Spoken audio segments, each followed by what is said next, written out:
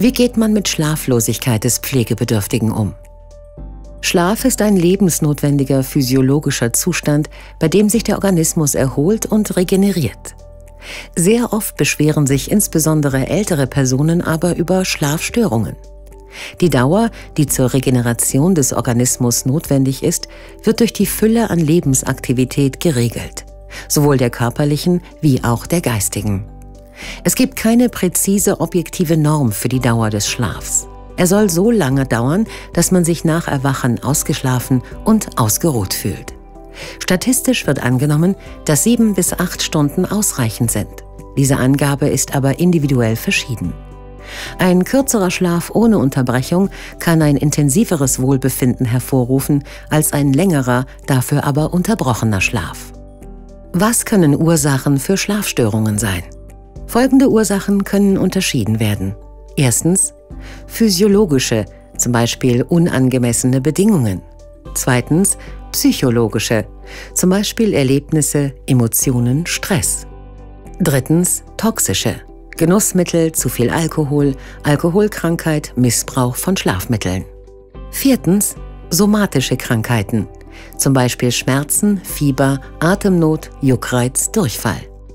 Fünftens neurologische Krankheiten, zum Beispiel Stumpfheit, Parkinson-Krankheit, Kopfverletzungen. Sechstens psychiatrische Störungen, Angstzustände, Depressionen, Manie. Was kann man tun gegen Schlafstörungen? Um Schlaflosigkeit mit natürlichen Mitteln zu begegnen, sollten am besten einige der im Folgenden genannten Tipps ausprobiert werden. Wir empfehlen, Verschiedenes zu kombinieren und zu beobachten, wie die Person darauf reagiert. Der Ersatz von schlaffördernden Medikamenten durch natürliche Mittel und Methoden verlangt von den Pflegepersonen allerdings größeres Engagement. Damit können jedoch bessere Ergebnisse erzielt werden. Zudem schonen natürliche Mittel die Gesundheit, weil sie keine Nebenwirkungen haben. Im Folgenden einige Tipps gegen Schlaflosigkeit bei älteren Menschen. Übungen im Laufe des Tages, Körperliche Aktivität bringt viele Vorteile für unseren Organismus und hilft auch dabei, eine bessere Schlafqualität zu erreichen. Voraussetzung ist, dass der behandelnde Arzt keine Einwände äußert. Sie sollten ihn vorher dazu befragen. Wenn Sie mehr über mögliche Bewegungsübungen für ältere Menschen erfahren wollen, sehen Sie sich bitte den Abschnitt Fitnessübungen an. Neben den Übungen können Sie mit der älteren Person spazieren gehen, auch dann, wenn sie im Rollstuhl sitzt. Frische Luft kann auch das Einschlafen zur Nacht begünstigen. Anstelle von Schlaftabletten haben sich heiße Aufgüsse aus Kräutern wie Melisse, echtem Baldrian oder Lavendel bewährt. Beruhigend für den Organismus wirken auch Kamille oder Johanniskraut. Ein älterer Mensch, der unter Schlafstörungen leidet, sollte möglichst ganz auf das Trinken von Alkohol verzichten, denn Alkohol erleichtert nur scheinbar das Einschlafen.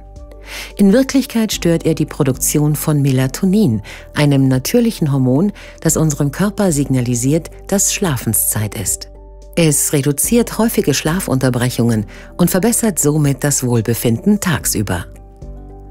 Wenn es nicht unbedingt notwendig ist, sollte die Person vermeiden, tagsüber längere Nickerchen zu machen. Diese wirken sich negativ auf das Einschlafen am Abend aus. Wenn es sich dennoch nicht vermeiden lässt, sollte das Nickerchen nicht länger als 30 Minuten lang dauern. Eine weitere Empfehlung ist, täglich um dieselbe Zeit schlafen zu gehen und morgens immer zur festen Zeit aufzustehen.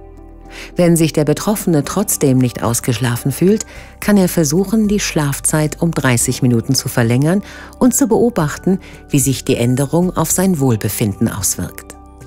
Der Raum zum Schlafen soll ein Ort für optimale Erholung und Entspannung sein. Denken Sie daran, alles dafür zu berücksichtigen. Der Raum muss vor allem vor dem Schlafen gut gelüftet werden. Nutzen Sie außerdem Hilfsmittel wie zusätzliche Kissen, eine Rolle oder eine weiche Decke, um die Person bequem zu lagern. Vermeiden Sie zum Abendessen schwer verdauliche Mahlzeiten zu servieren. Sie können in erheblichem Maße die Nachterholung stören und verschiedene Verdauungsbeschwerden verursachen.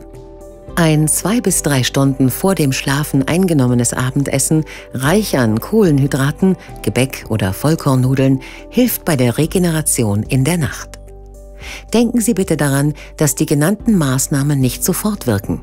Haben Sie Geduld und beobachten Sie, wie die pflegebedürftige Person darauf reagiert. Es lohnt sich, mehrere Tipps und Methoden auszuprobieren, um dann diejenigen anzuwenden, die tatsächlich zu einem gesünderen Schlaf und Wohlbefinden führen.